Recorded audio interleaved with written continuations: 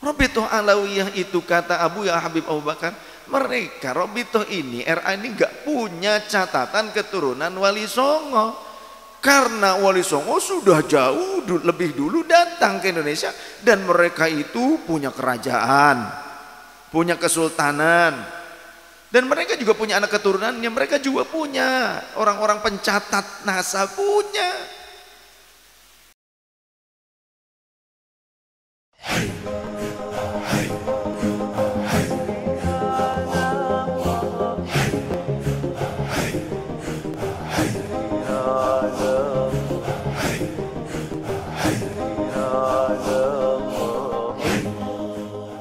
Umat Rasul.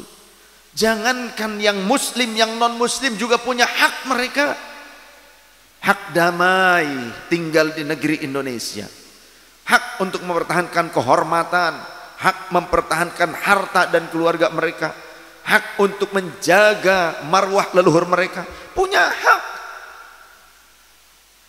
Jangan merasa sombong hanya karena nasab, mengkerdilkan orang lain, mengkerdilkan ulama, Ulama-ulama kiai-kiai disebut binatang. Ada yang dikatakan anjing, ada yang dikatakan babi, ada yang dikatakan curut.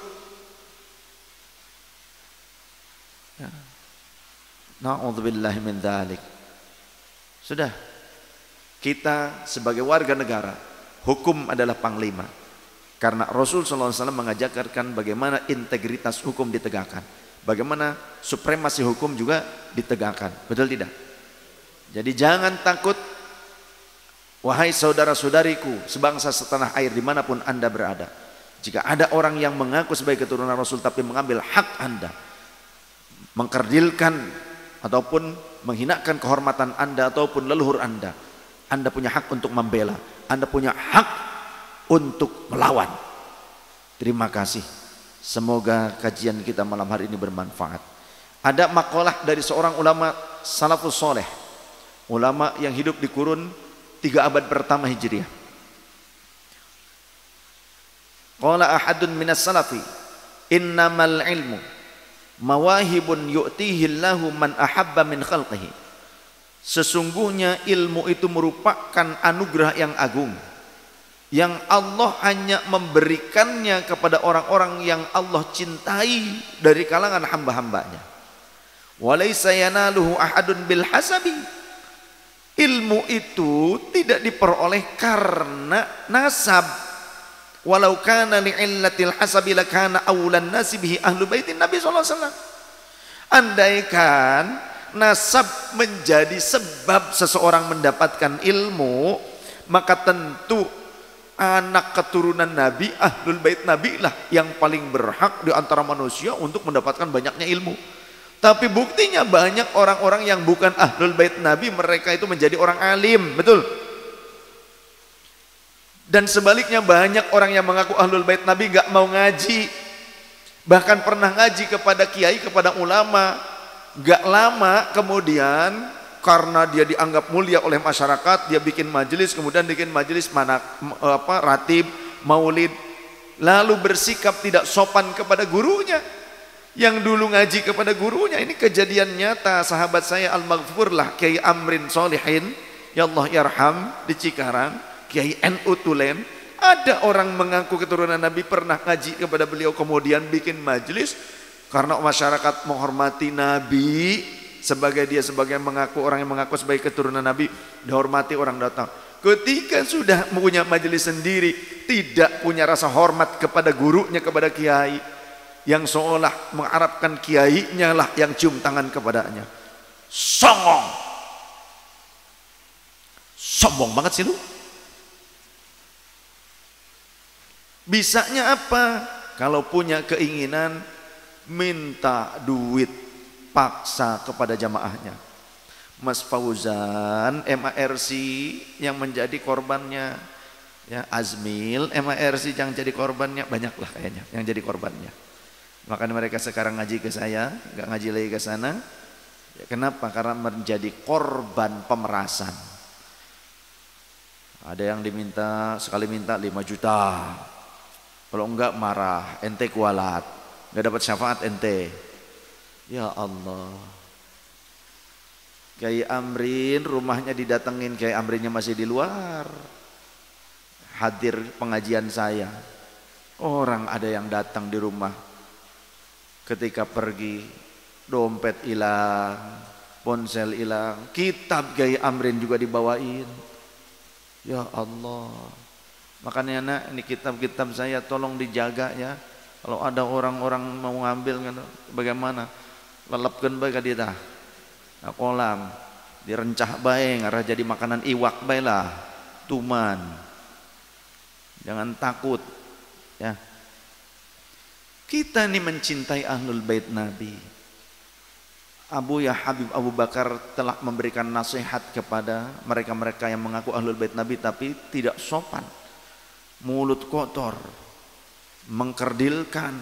Menghinakan orang lain Abu ya Habib, Habib Abu Bakar Alatos Az-Zabidi sampai memberikan ultimatum kepada orang-orang oknum-oknum tersebut. Kata Abu ya termasuk juga kepada orang-orang yang mengatakan Wali Songo tidak punya anak keturunan, tidak punya keturunan dari anak laki-laki, tidak punya punya anak laki-laki. Abu ya Said Abu Bakar bilang, Habib Abu Bakar Alatos Az-Zabidi, beliau bilang, Mufti Ternate tapi tinggalnya di sini di Depok majelisnya. Wali Songo itu ahlul bait Nabi. Dan Wali Songo punya anak, punya keturunan, anak laki-laki ya ada. Kalau ada orang berkata, tapi RA tidak mencatat mereka. RA itu baru dibentuk oleh pemerintah Hindia Belanda VOC pemerintah kolonial Belanda tahun 1928 ya RA itu baru dibentuk, baru ada, disahkan, ditandatangani oleh pemerintah Hindia Belanda. Sebentar, saya lupa nama ini. Ini ada nih.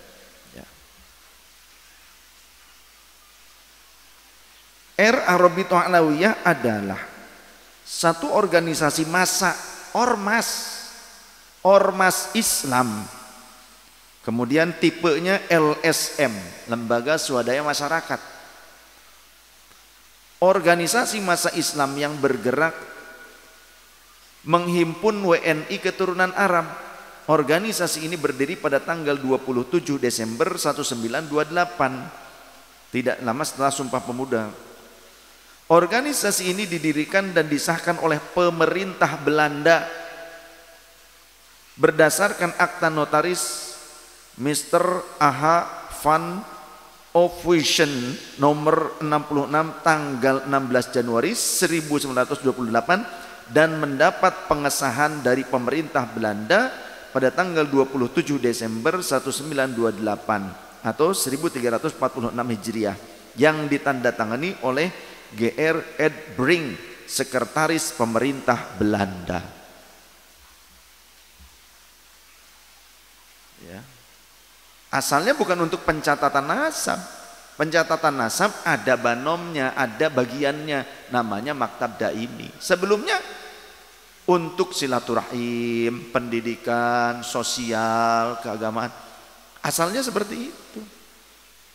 Ya, ini disahkan oleh pemerintah kolonial Belanda di saat zuriyah Rasul Ahlul Bait Rasul dari keturunan Wali Songo selalu melawan kepada Belanda, selalu mengerahkan gerilya untuk memberontak kepada pemerintah Hindia Belanda.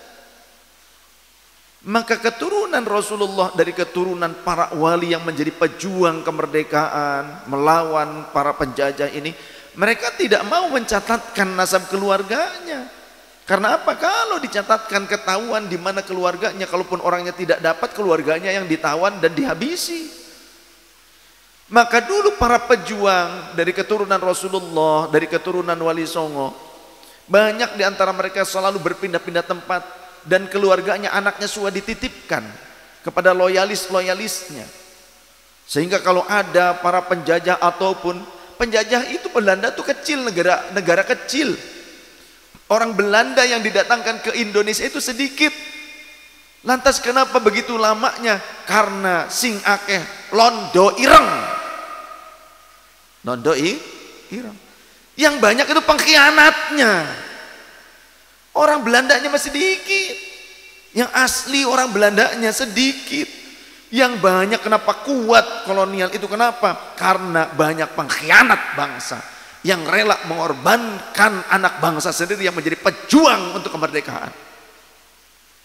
Sadar. Ya. Yang menjadi antek-antek itu enak saja, nyaman. Dibuatkan doktrin lain sebagainya. Mereka juga membuat doktrin-doktrin fatwa-fatwa untuk menyerang para gerilyawan, para pejuang Ahlul Bait Rasul yang menjadi pejuang. Terus terus. Makanya berpindah tempat ya berpindah nama. Anak-anaknya Kak Jadi titip-titipkan. Tidak maulah dicatatkan ya keluarganya oleh Belanda, tidak mau. Mereka punya lembaga pencatat sendiri, punya ahli-ahli nasabnya sendiri. Robito Alawiyah itu kata Abu Ya Habib Abu Bakar, mereka Robito ini RA ini nggak punya catatan keturunan Wali Songo. Karena Wali Songo sudah jauh lebih dulu datang ke Indonesia dan mereka itu punya kerajaan, punya kesultanan. Dan mereka juga punya anak keturunan yang mereka juga punya orang-orang pencatat NASA punya. Jadi kalau ada orang sekarang ya dengan songong dan sombongnya mengatakan RA adalah lembaga pencatat nasab Ahlul Bait Nabi sedunia jadi siapa pun di mana pun di dunia Ahlul Bait Nabi ini dicatat di RA. Dan jika tidak dicatat di RA, jika tidak dilegalkan, tidak diitbat oleh LA, RA, maka berarti itu palsu atau bukan. Ahlul Bait tidak sah pengakuannya. Terlalu songong, terlalu berlebihan, terlalu sombong. Ya. Padu nyocot Yang diisbat oleh RA saja banyak yang tidak diisbat di Yaman. Banyak. Ini pengakuan dari mereka yang sudah punya paspor buku Nazabi RA. Ketika mereka mondok di Habib Umar, di Habib Abu Bakar Al-Adani. Kemudian nanya contoh ke Habib Ali Al-Masyhur. Kakaknya Habib Umar yang ahli nasab, seorang munsib, seorang nakib. Kemudian Habib Ali sampai bilang, saya yakin kamu tuh ahlul bait Nabi, tapi saya tidak bisa mengisbat Anda disatukan dengan catatan saya karena tidak ada catatan saya yang menguatkan pada nasab antum. Di sini tidak ada. Yang sampai pada keluarga antum tuh saya tidak punya begitu. Ya. Jadi terlalu gegabah kalau orang berkata bahwa yang tidak diisbat oleh RA berarti tidak sah menjadi ahli. Ya Allah, berarti yang di Maroko, di Mekah, di Madinah, ya, di Irak, di luar negeri di mancanegara yang tidak diisbat oleh RA kemudian itu menjadi palsu begitu? RA ini tahun 1928. Kesultanan-kesultanan jauh sebelum itu. Mereka sudah rapih pencatatannya. Bahkan manuskrip-manuskrip kuno itu sampai ada adat di mana membukanya itu hanya setahun sekali. Manuskrip-manuskrip buku-buku catatan itu nasab apa, sejarah, ya, adat istiadat yang ditulis sejak zaman dulu dari abad 17 Masehi, eh 16 Masehi, bahkan dari abad 14. Abad 14, abad 15, abad 16 Masehi tercatat rapi. Dibukanya hanya boleh setahun sekali bulan mulut saja. Itu pun ada di beberapa kesultanan di beberapa uh, daerah yang melihatnya harus malam. Harus malam hari dan tidak boleh pakai lampu yang terang. Harus pakai lampu ceplik. Harus ada tawasul dulu. Sedekah dulu. Saking apa saking berharga dan terjaganya manuskrip tersebut supaya tidak ada pemalsuan. Bahkan tidak boleh dipotokopi, dipoto tidak boleh. Ya, masih banyak yang seperti itu. Termasuk catatan tangan eyang saya yang dipegang oleh Buya Udin sekarang dipegang oleh putranya Buya Agus. Padahal catatan buku punya eyang saya. Itu kita kitanya saja nggak boleh itu memfoto. Jangan fotokopi, foto pakai handphone aja nggak boleh. Cuma boleh disalin, nulis sendiri. Apalagi yang manuskrip-manuskrip kuno. Kenapa kok setahun sekali? Ya karena kalau sering-sering ya lapuk atau bahannya aja ya kan? Itu lembarannya sudah lapuk. Kalau sering-sering nanti rusak. Dan khawatir akan ada tangan-tangan jahil yang merubah isi kandungannya. Maka dijaga ketat. Adatnya seperti itu. Berarti Nah ketika ketika sekarang ini muncul fitnah-fitnah kepada Wali Songo bahwa Wali Songo tidak punya keturunan, tidak punya anak laki-laki. Hei Wali Songo pamajikan loba, anak laki-lakinya loba. Oh, oh. Kata Umi maksud lo katanya, orang ikut loba, anaknya begitu. Amin. Mesti amin baiklah. Ya, keur ngalawan iya ya naon? Cangkem elek. Udah banyak ini ya. Para petarung para pejuang nih harus banyak untuk melawan cangkem elek ini. Oh, yang suka nyocot mbak ya. Ya Allah. Mohon maaf ya. Ya ini pernyataan Habib Abu Bakar sendiri sesepuh nih ya beliau sampai seperti itu jadi RA tidak punya catatan keturunan Wali Songo karena RA ini baru ada 1928 dibentuk oleh atau disahkan oleh pemerintah Hindia Belanda oleh kolonial. Sedangkan manuskrip kuno itu di kesultanan-kesultanan dan nakib-nakib wali-wali Nusantara mereka menjaga. Nah, sekarang mulai bermunculan wasilah jadi ada hikmah ya, cangkem ele itu ada hikmah ternyata. Ya. Munculnya para cangkem ele ini ada hikmah. Memunculkan generasi-generasi para penyimpan manuskrip-manuskrip kuno itu untuk muncul bahkan mereka memvalidasi artinya mencoba terus mengkonver bukan mengkonversi ya apa ya? Coba uh, mencari kelanjutan-kelanjutan ataupun sejarah hikayat catatan-catatan yang bisa menjelaskan memperkuat catatan yang dimiliki di sini mereka cari. Kalau ini keturunan dari ini dari ini adanya di mana? Oh ini pernah tinggal di anu contoh tinggal di Campa atau tinggal di Malaka. Maka dicari ini tim peneliti manuskrip dan nakib dari keturunan Wali Songo, ya, Robitoh dari keturunan Wali Songo, ahli-ahli nasab munsib dari keturunan Wali Songo, mereka akhirnya coba menyambungkan, mereka mencari. Dulu di mana nih? Ada di Malaka, di Malaysia. Mereka cari ke Malaka, siapa pemegang manuskrip kuno. Kemudian ada di sana.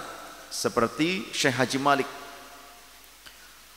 Kemudian dilihat, dipelajari, oh ternyata keterangannya ada di situ.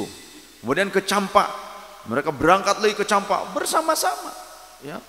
Dari kesultanan-kesultanan ini berangkat bersama-sama. Kemudian, oh ternyata ini datanya ada di sini juga. Terus semakin memperkuat. Dari data ini, kata munsib-munsib yang dari Campak Malaka, ini sudah diithmat oleh nakib dari Maroko. Maka dari Maroko datang. Ini juga sudah diisbat oleh nakib dari uh, Uzbekistan. Ada yang ke Uzbekistan. Ini juga sudah diisbat, ada catatannya di sana di Damaskus Suriah. Pergi ke Suriah, teman-teman tuh. Ada juga yang ke Irak, ke Baghdad dan ke Basrah. Berangkat ke Irak. Ada juga yang catatannya ada di Madinah. Ya, ada mereka berangkat juga ke Madinah. Terus yang dari luar juga datang seperti itu. Dan hikmahnya besar. Jadi tersambunglah sejarah ini. Terkuak yang tadinya tertutup, distorsi-distorsi itu pun akhirnya diluruskan. Sejarah ini diluruskan. Alhamdulillah. Maka kami juga sangat mengapresiasi ya para sahabat tim peneliti sejarah, tim peneliti manuskrip dan munsib munsib serta nakib nakib yang jujur, yang jujur, yang tulus bukan modus, ya yang mereka memperjuangkan kehormatan para zurriyah Rasul ahlul bait Rasul dari kalangan wali-wali Nusantara di antaranya Wali Songo. Wali Songo itu bukan cuma sembilan orang, tapi Wali Songo itu dewan wali yang di setiap generasinya itu ada sembilan.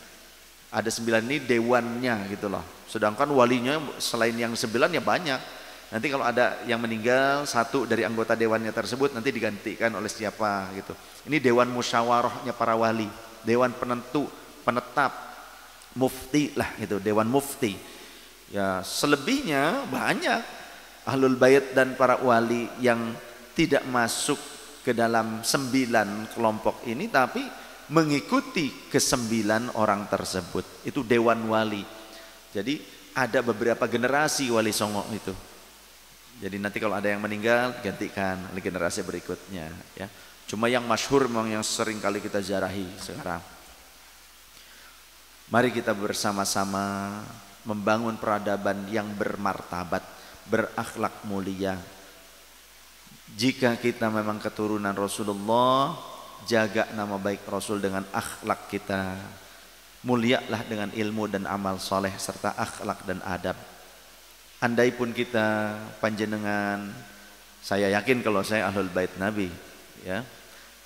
Kemudian jika ada di antara panjenengan yang merasa bukan ahlul bait nabi jangan merasa putus asa. Karena dulu ada para sahabat yang bukan ahlul bait nabi tapi disebut ahlul bait nabi. Seperti sahabat Salman Al-Farisi adalah ahlul baitku kata Rasul. Padahal dari Persi, dari Iran, dari Persi, Persia bangsanya. Bukan ahlul bait Nabi tapi oleh Rasul disebut sebagai ahlul bait Nabi. Jadi jangan pernah putus asa. Walaupun bukan keturunan Nabi, tapi jika mengikuti ajaran Nabi, akhlak sang Nabi, mengambil warisan ilmunya sang Nabi, sampai menjadi orang alim, menjadi ulama, jaminannya kata Rasulullah SAW innal ulama warathatul ambiya sungguh para ulama itu adalah pewaris para nabi termasuk pewaris Rasulullah sallallahu alaihi wasallam. Oleh karenanya kita harus hormat kepada para pewaris Rasul walaupun bukan nasab pancar darah Rasulullah tapi mereka nasab ilmunya kepada Rasulullah SAW maka hormati muliakan mereka para ulama para kiai di Indonesia disebutnya kiai. Di luar negeri tidak ada sebutan kiai. Ya kiai itu untuk orang-orang yang mulia termasuk orang alim. Kiai bahkan bukan hanya untuk barang. Di Indonesia tuh kiai juga eh, bukan hanya untuk manusia bukan hanya untuk orang. Tapi kiai di Indonesia di Jawa juga digunakan untuk barang. Sampai hewan peliharaannya wali juga itu dipanggil kiai. Kebo kiai selamat. Kemudian keris kiai setan kober. Udah kiai tapi pakai setan. Kober pula gitu kan. Kober tahu kober? Kobak berenang. Itu. Pokoknya pakai kiai, keris tombak pakai kiai. Apa sih maksudnya? yang dimuliakan. Bukan hanya orang. Jadi kiai itu kebenda juga kiai. Nah, maka dulu para ulama disebut kiai karena masyarakat memuliakan mereka karena memang kemuliaan akhlak mereka. Kemuliaan pribadi mereka pantas. Tapi kalau sekarang kita nuntut orang memuliakan kita tapi kita tidak bisa memuliakan orang lain, uh, Mimpi. Doakan saya dan keluarga serta zuriyah dan anak keturunan saya mudah-mudahan menjadi orang-orang yang mulia, menjadi orang-orang yang alim, yang bisa menjaga marwah leluhur, marwah ahlul bait Nabi, marwah Rasulullah sallallahu alaihi wasallam. Agar kami saya dan keluarga serta keturunan saya tidak membuat sedih Rasulullah. Tidak membuat kecewa Rasulullah. Tidak membuat kecewa Ahlul Bait Rasulullah, leluhur kami. Semoga Allah membimbing kami. وفقنا إلى طريق المستقيم. آمين يا رب العالمين. والله أعلم بالصواب. سبحانك اللهم وبحمدك. أشهد أن لا إله إلا أنت. نستغفرك ونتوب إليك. Mohon maaf leher dan batin. Wallahul muwaffiq ila aqwamit والسلام wassalamu alaikum warahmatullahi wabarakatuh.